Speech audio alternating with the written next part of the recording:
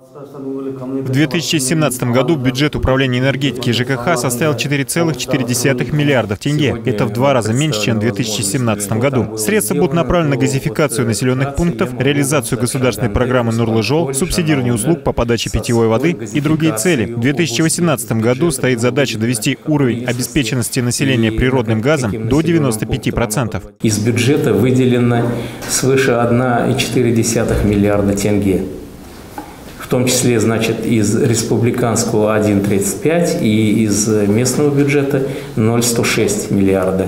На выделенные средства планируется подключить к природному газу 24 сельских населенных пункта с охватом населения около 10 тысяч человек. В области растет число автомобилей, работающих на жижном газе. Именно с этим связаны прошлогодние перебои с топливом и скачки цен. Но в этом году был подписан меморандум с ТО «Жаик Мунай». Предприятие будет ежемесячно поставлять 2200 тонн жижного газа на внутренний рынок. Его общая потребность составляет порядка 3,5 тысяч тонн в месяц. Буквально полтора-два года назад у нас было транспорта э, легкового и грузового э, переоборудован на газобаллонное оборудование – чуть более 5 тысяч. А на сегодня, вот по данным, э, зарегистрированным в МВД, э, в ДВД, будем так говорить, э, у нас уже составляет 9,3 тысячи единиц. Между тем, АО «ЖЭК Теплоэнерго» задолжала за газ поставщикам 780 миллионов тенге. При этом потребители остались должны коммунальному предприятию 870 миллионов. Только за этот год мы порядка уже 60,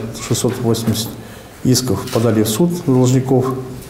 Э, последние годы мы начали активно заниматься своими должниками, которые не платили порядка там кто 5, кто 6-7 лет. Э, для этого есть все возможности у частных судебных исполнителей. 17 судебных исполнителей нами активно сотрудничают в этом вопросе. И при их помощи мы применяем все те права, которые законодательством даны судебным исполнителям. Также на брифинге сообщили, что в этом году на сумму более миллиарда тенге проведут реконструкцию двух тепломагистралей протяженностью почти в 3 километра. Роман Копняев, Айбулат Джигипар, Александр Грабарев, ТДК-42.